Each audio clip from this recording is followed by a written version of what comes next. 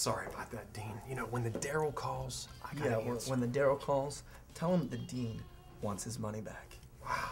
Listen, Dean, you gotta give it a chance. You know what? A check for me by tomorrow, or I'll have the Better Business Bureau, the DA, even the goddamn Post Gazette so far up your ass.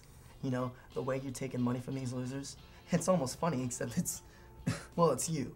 You want to be hung up by your balls. Hey, hey, hey, hey, hey, easy. Easy. Listen, contrary to your very limited point of view, I provide a valuable service to not only these losers, as you call them, but to society at large. Give me a break. Okay, fine. If these losers, your word, weren't paying to be in my class, they'd be sitting in their double wides playing video poker. Or, or worse yet, going to online sniper school. And what the hell good is that gonna do anyone? I give them hope. I give them hope that when they wake up tomorrow, they're not gonna wanna blow their head off. Yeah, and that's what they do. They feel like that every day, and the day yesterday, and the day before. You know what? Save your bullshit, okay? My money, tomorrow, or else. Two Heinekens, please. Let me buy you a beer. Come on, I insist. Okay? Look, Dean, you gotta realize. Thank you. You gotta realize, I give these people hope that tomorrow is gonna be a better day. So what do they do? They go out and buy stuff. They buy clothes, they buy cars, they get married, they save for their vacations and their retirement.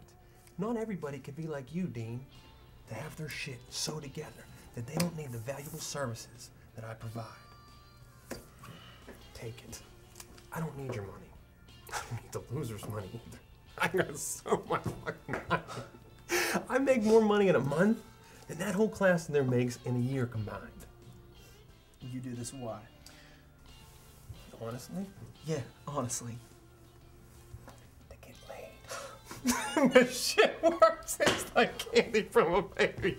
You gotta try it sometime, dude. That's why I do this to get laid, and to get guys like you to work for me. Guys, guys like me. Yeah.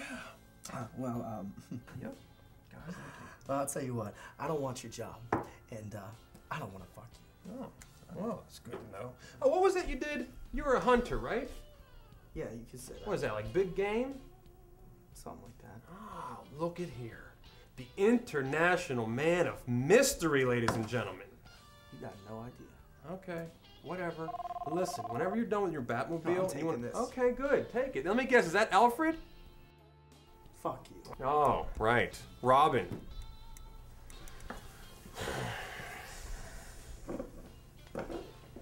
You wanted to see me?